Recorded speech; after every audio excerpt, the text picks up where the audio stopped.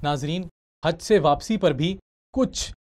तदाबीर आपको करनी होंगी। अगर आप मसल फटीक यानी पट्ठों के अंदर दर्द का शिकार हैं तो पेन किलर टैबलेट्स इस्तेमाल करें रेस्ट करें मैक्सिमम कोशिश करें कि फ़िज़िकल एक्टिविटी कम की जा सके। आप एक बहुत लंबे और मुश्किल सफ़र से आए हैं, जिसके बाद आपको आराम की ज़रूरत है, आपके जिसम को रिकवरी की ज़रूरत है, और काफ़ी बीमारियों से बचा जा सकता है अगर आप अपने आप को ओवर एग्जर्ट या ज़रूरत से ज़्यादा मुश्किल के अंदर ना डालें तो वापस आने के बाद रेस्ट करें और अपनी रिकव बॉडी को रिकवरी का टाइम दें। अगर आपको कोई इन्फेक्शन मौजूद है तो अपने हेल्थ सेंटर के ऊपर उसको ज़रूर चेक कराएँ और उसके बाद अपने घर वालों को उससे महफूज ज़रूर रखें, क्योंकि उस, उनके अंदर उसकी कुत मुदाफ़त मौजूद नहीं है। मास्क का इस्तेमाल करें और कुछ देर कोशिश करें कि अलहदा रहा जाए और ज़्यादा लोगों के अंदर वो इन्फेक्शन ना फैलाई जाए। अगर दो हफ़्ते से ज़्यादा